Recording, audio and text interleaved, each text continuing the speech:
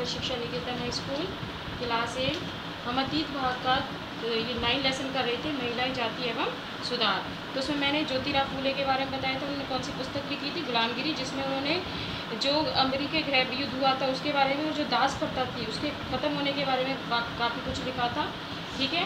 अब हम पढ़ेंगे कि मंदिरों में कौन जा सकता था। इसमें अंबेडकर एक महान परिवार से पैदा हुए थे, महान परिवार जो मैंने पहले बताया था कि जिसको हमारे जो जाति वन के अनुसार सबसे नीची जाति मानी जाती थी। बचपन में उन्होंने इस बात पर खूब नज़दीक से देखा कि रोज़ाना की ज़िंदगी में जो जातीय भेदभाव है और पूरा ग्रह क्या होते हैं, ठीक है? स्कूल में उन्हें ज़मीन पर बैठने के लिए कहा जाता था, अलग पानी पीने की अलग इजाज़त नहीं थी, नल के पानी पीने की, ठीक है? तो जब वो उन्नीस सौ उन्नीस में अमरीका से वापस आए थे पढ़ने के बाद तो उन्होंने लौटने पर उन्होंने समकालीन समाज में उच्च जातीय सत्ता पर काफ़ी कुछ लिखा। तो सन 1927 में अंबेडकर ने मंदिर प्रवेश आंदोलन शुरू किया, जिसमें महार जाति के लोगों ने बड़ी संख्या में हिस्सा लिया था। ब्राह्मण पुचार इस बात पर बहुत आग उबला हुआ है क्योंकि महार जाति के जो लोग थे, वो मंदिरों में प्रवेश नहीं कर सकते थे। परंतु 1927 से 1935 के बीच अंबेडकर ने मंदिरों में प्रवेश के लिए ऐसे तीन आंदोलन चलाए वह पूरे देश को दिखाना चाहते हैं कि समाज में जातीय पूर्वाग्रहों की जकड़ कितनी मज़बूत है ठीक है? इसलिए इन्होंने ये आंदोलन चलाया। उसके बाद है गैर ब्राह्मण आंदोलन कि गैर बीसवीं शताब्दी के आरंभ में गैर ब्राह्मण आंदोलन शुरू हुआ। यह प्रयास उन गैर ब्राह्मण जातियों का था जिन्हें शिक्षा धन और प्रभाव हासिल हो चुका था। उनका तर्क था कि ब्राह्मणों को तो उत्तर से आए उन आर्य आक्रमणकारियों के वंशज हैं ठीक है? जो उत्तर से आए थे। तो ऐसी नस्लों को हराकर दक्षिण भूभाग पर विजय हासिल की, की जा सकती है। उन्होंने सत्ता पर ब्रह्मवादी दावे को चुनौती दी। अब इसमें पढ़ेंगे हम कि पेरियार के नाम से प्रसिद्ध ई बी स्वामी नायरकर एक मध्य परिवार से पढ़े लिखे व्यक्ति थे। उन्होंने प्रारंभिक जीवन में सन्यासी, उन्होंने सन्यासी का जीवन व्यतीत किया था और गंभीरता से संस्कृत शास्त्रों का अध्ययन किया था, ठीक है? उन्होंने राष्ट्रवादी राजत में एक दावत दावत में देखा कि वहाँ बैठने के लिए जातियों के हिसाब से अलग अलग इंतज़ाम थे। यानी कि जो जातियाँ वर्ण थी वो अलग अलग इंतज़ाम थे कि कोई किधर बैठेगा कोई किधर बैठेगा अलग अलग थी। तो परिवार की समझ में आ चुका था कि अछूतों को अपने स्वयं के लिए खुद लड़ना होगा।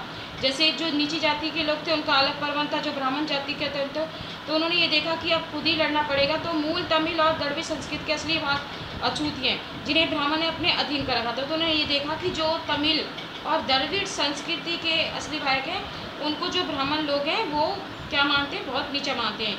तो परियार हिंदू वेद पुराणों के कट्टर आलोचक थे खासतौर से उन्होंने मनु द्वारा रचित भगवत गीता और रामायण के कटु आलोचक थे तो उनका कहना था कि ब्राह्मणों ने निचली जातियों पर अपनी सत्ता तथा महिलाओं को पुरुषों का प्रभुत्व स्थापित करने के लिए इन पुस्तकों का सहारा लिया है। किन्होंने लिया है? ब्राह्मणों ने लिया है।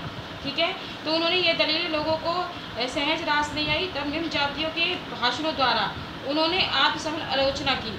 और रूढ़ीवादी हिंदू समाज में उत्तर सनातन धर्म सभा और जो धर्म महामंडल बंगाल ब्राह्मण सभा जैसे संगठनों के ज़रिए होती है ना, उनका विरोध किया। तो इसलिए औपनिवेशिक काल के बाद जाति के सवाल पर बहस और संघर्ष चलते समय आज भी भारी जारी है। तो ये तो था आपका कि किस तरह से गैर ब्राह्मण आंदोलन के लिए उन्होंने ई बी सामी नायकर ने किस तरह से आंदोलन किए थे। उसके बाद कई समाज सुधारक हुए हैं, आप इसमें देखो, ब्रह्म समाज का मैंने बताया था, राजा राम मोहन राय हैं ठीक है? रामकृष्ण मिशन है जिन्हों विवेकानंद जी जिन्होंने अपने गुरु रामकृष्ण परमहंस के नाम पर रखा था, जो ये मिशन खोला था, रामकृष्ण मिशन। किसने खोला था ये? स्वामी विवेकानंद ने। ठीक है? उसके बाद प्रार्थना समाज सभा है, जो उन्नीस सौ सड़सठ में बम्बई में स्थापित की गई थी। उसके लिए विधवा विवाह के उन्मूलन के लिए प्रयास किया गया था। वेद समाज की स्थापना हुई थी, कब हुई थी? मद्रास में अठारह सौ चौंसठ में। अलीगढ़ में स्कूल खोले गए थे, जिसमें मोहम्मद एंग्लो ओरिएंट कॉलेज की स्थापना की गई थी 1975 में, जिसे सैयद अहमद खान ने किया था। इस तरह से ये हैं, उसके बाद काले गुलाम गुलाम और गोरे बगान आदि के भाई, जो दूसरी जगह थी सत्य यूरोपीय जो यात्री थे, व्यापारी काफ़ी अफ्रीका पहुँचे तो उन्होंने गुलामों का व्यापार शुरू किया था, यानी कि व्यक्तियों को बेचना। वे अफ्रीका के काले और गोलो, लोगों को पकड़कर अमेरिका ले जाते थे और वहाँ गोरे बागानों को बेच देते, यानी गोरे लोगों को बेच देते। थे उन्हें कपास और अन्य बागान में काम करना पड़ता था, जो ज़्यादातर दक्षिण संयुक्त राज्य अमेरिका में स्थित थे। और देर देर रात तक उन्हें काम करना पड़ता था। सही ढंग से काम न करने के कारण मालिक उन्हें सजा देते थे, कोड़ों से पीटते थे तरह तरह की यातनाएँ देते थे।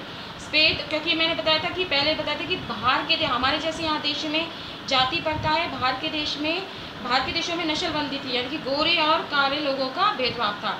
तो सत्रह में अमरीकी क्रांति की भावनाओं का हवाला आह्वान किया और अमरीका वासियों ने अपने घोषणा पत्र को देखा कि क्या भाषा समझ में नहीं आती तो उन्होंने इसके लिए भी एक गुलामों की बिक्री और उसके लिए रोकथाम के लिए कार्य किए। तो ये आपका लेसन कंप्लीट हो गया है।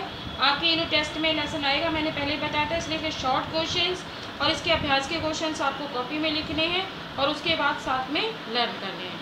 आज के लिए इतना ही। नेक्स्ट क्लास आपकी अब आप, आपके यूनिट टेस्ट होंगे उसके बाद लगेगी। Thank you